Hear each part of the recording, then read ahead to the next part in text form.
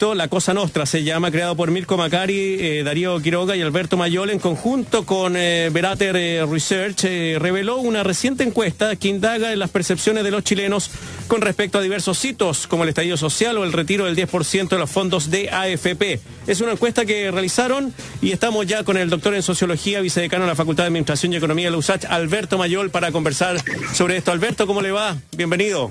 ¿Qué tal, Marcelo? ¿Cómo estás? Bien, un gusto. Tengo aquí invasión de. Oye, pero muy al aire libre, ¿ah? Además. Sí, estoy, estoy aquí. Ya no, no, no, ya. Atacando.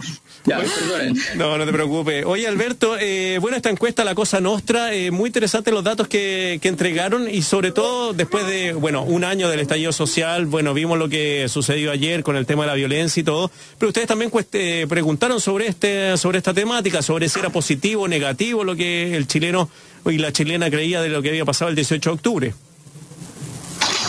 Sí, la verdad es que hicimos un enfoque un poco distinto a lo que, a lo que es habitual. Ya eh, efectivamente han habido varios estudios, encuestas que tratan de entender y hemos hecho nosotros mismos con mi equipo de investigación, que se hemos hecho cosas respecto a, las causas del, estallido.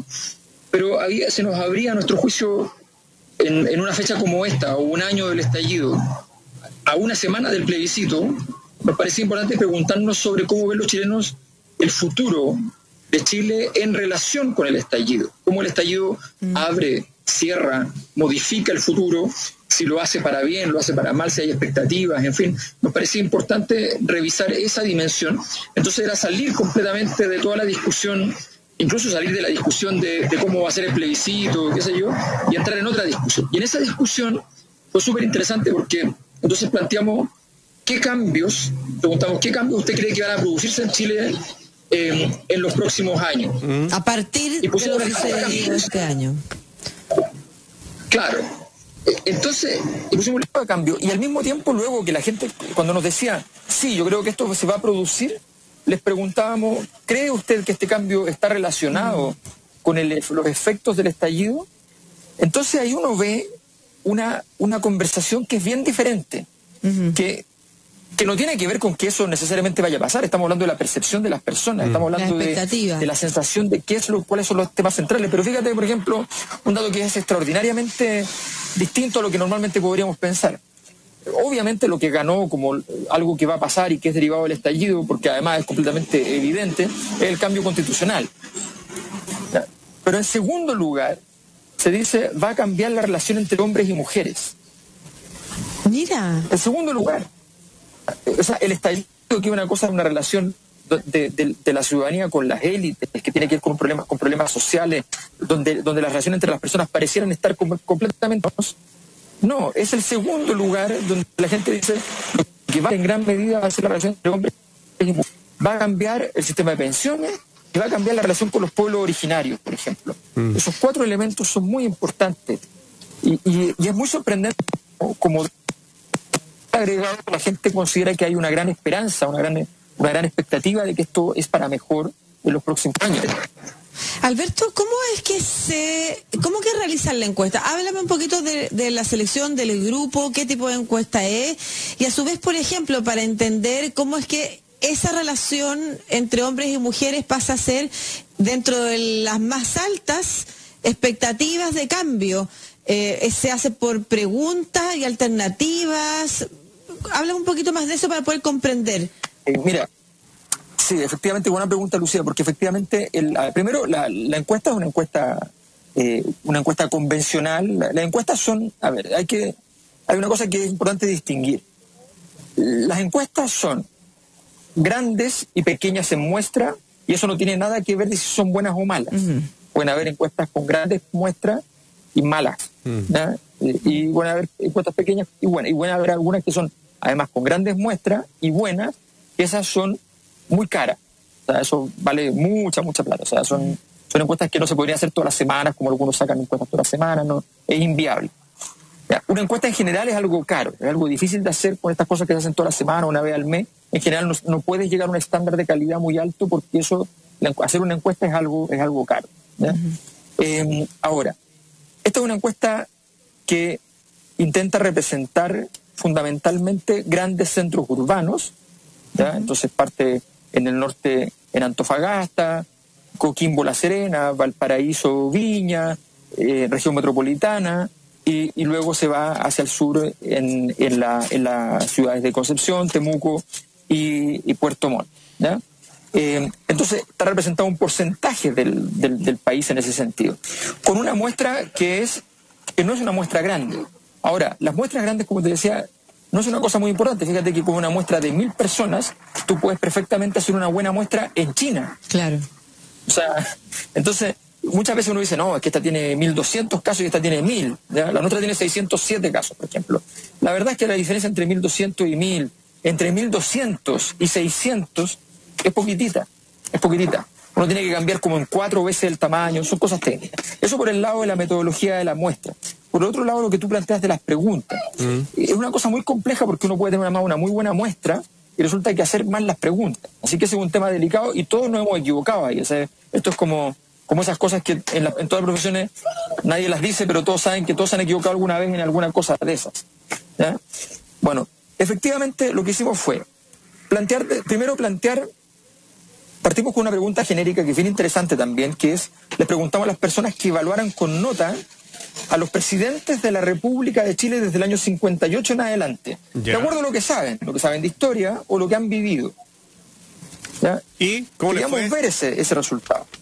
Bueno, ese resultado nos dio que, em, y, ese, estudio además yo lo había hecho el año 2006, por los presidentes hasta la fecha, que era el último era Ricardo Lago, y en ese momento Ricardo Lagos ganaba lejos, con un 6,1, eh, y todos los demás, salvo Pinochet, estaban con notas azules.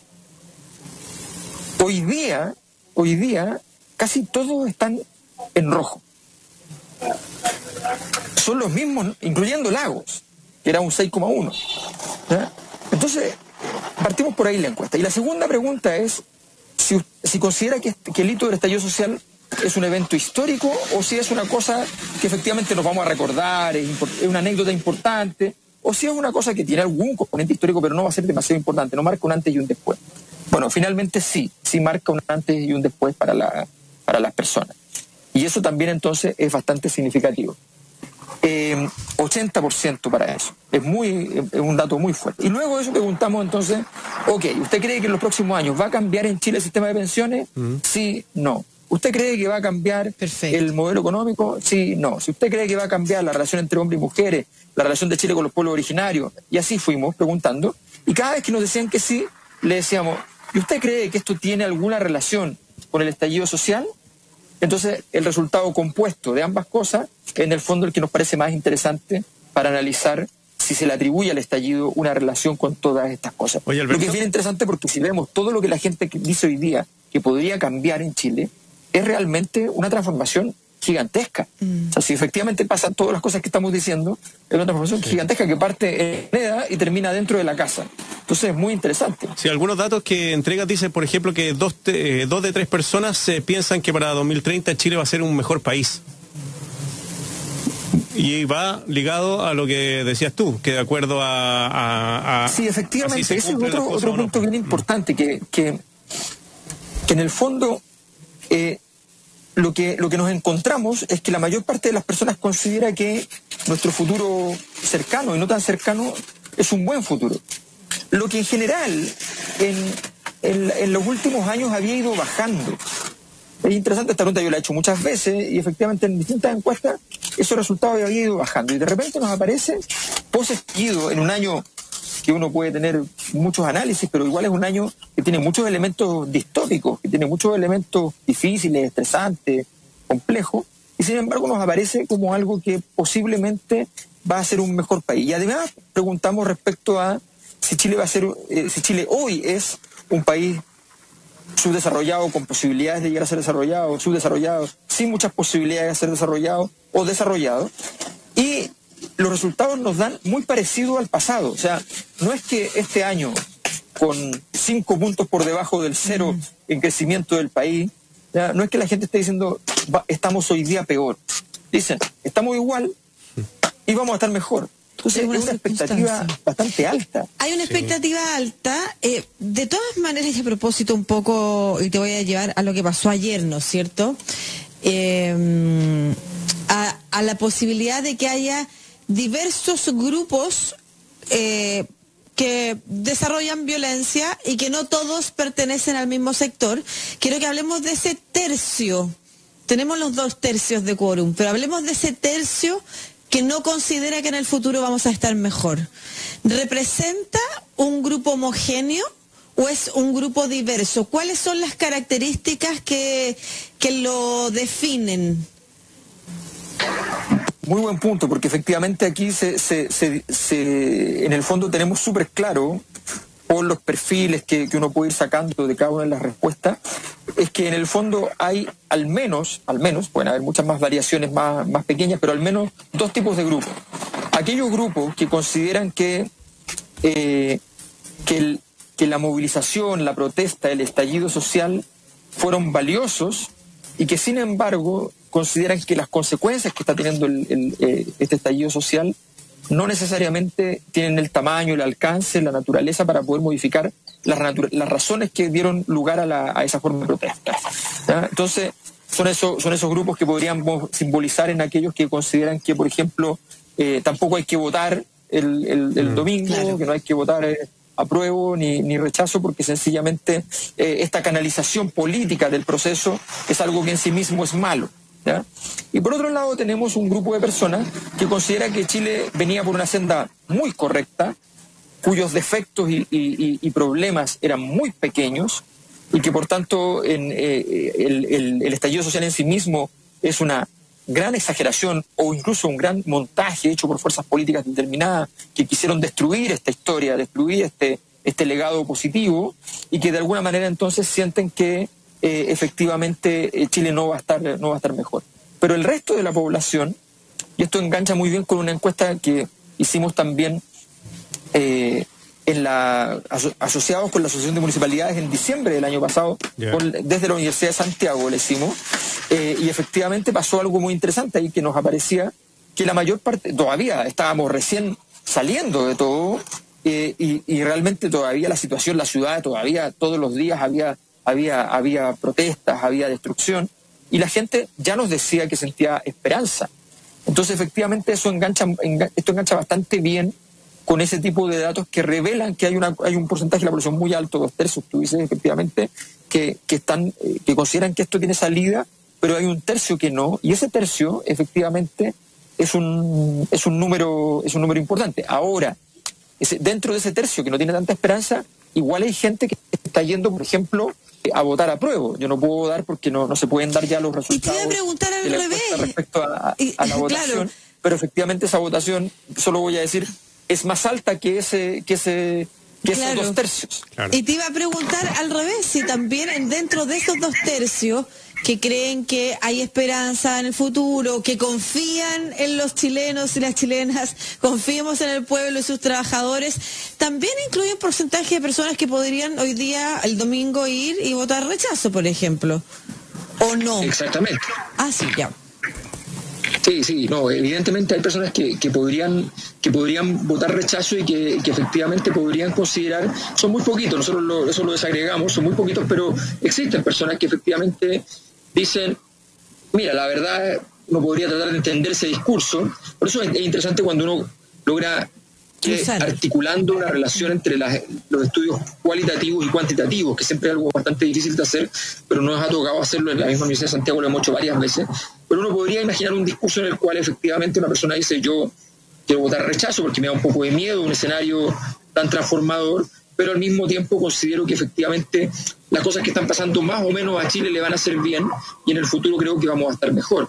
Todas esas cosas son, son pensables porque hay mucha ingeniería de detalle de la reflexión que tiene cada persona eh, y, y, en ese sentido es, una, es un pensamiento completamente legítimo.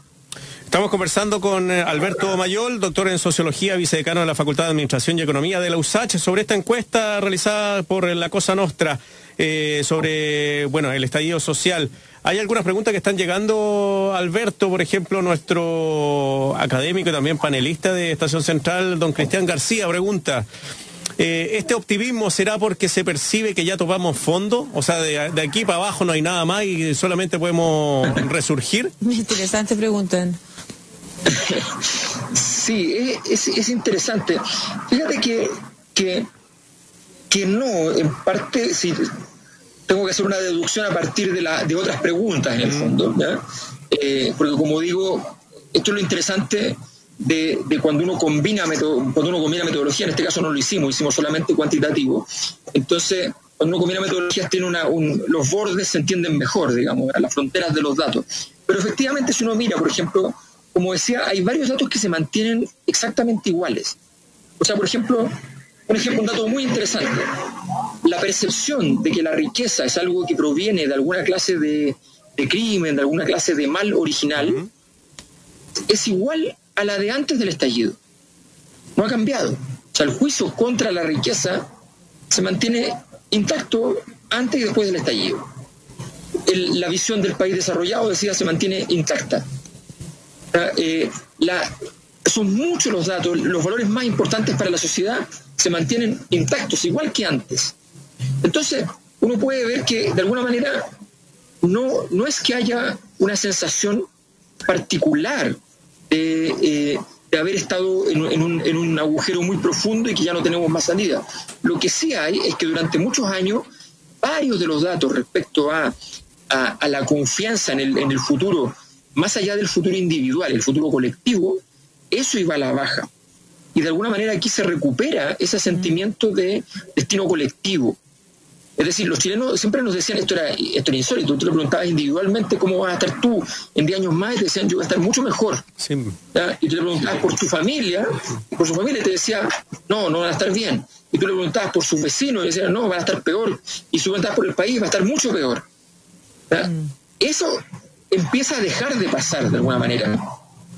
Y empieza a aparecer entonces la posibilidad de construir un destino colectivo que tenga alguna relación con mi propio destino que yo considero que fantasiosamente o no, va a ser mucho mejor. Oye, muchas gracias Alberto. ¿Dónde podemos encontrar la encuesta para cerrar? Y además, rapidito, dinos, ¿cómo fueron las notas de los presidentes de este último tiempo de la dictadura adelante? Sí, mira, nosotros, bueno, el proyecto de la Cosa Nostra es un proyecto muy simple. Tenemos, tenemos, tenemos un podcast de, de análisis político, pero también tenemos eh, también tenemos seminarios, tenemos muchas cosas, estamos sacando una, una, línea editorial con una editorial que tiene que ver siempre con temas asociados al poder. La encuesta la pueden pedir al correo, nosotros no la estamos subiendo para descargar, la pueden pedir al correo del poder importa gmail.com y durante el día sí vamos a ir poniendo en redes sociales varios de los datos y vamos a ir desagregando. Y en general en, el, en mi canal de Alberto Mayor en medios en YouTube pueden encontrar una presentación, dos presentaciones detalladas sobre esto que, hice para ir explicando los datos tal como iban saliendo. Bueno. Ya, perfecto. Bueno, ahí nos enteramos entonces, voy a llegar con esa, con esa tarea de ir a buscar cuáles fueron las notas que le pusieron a los, a los presidentes y a la ah, presidenta. Sí.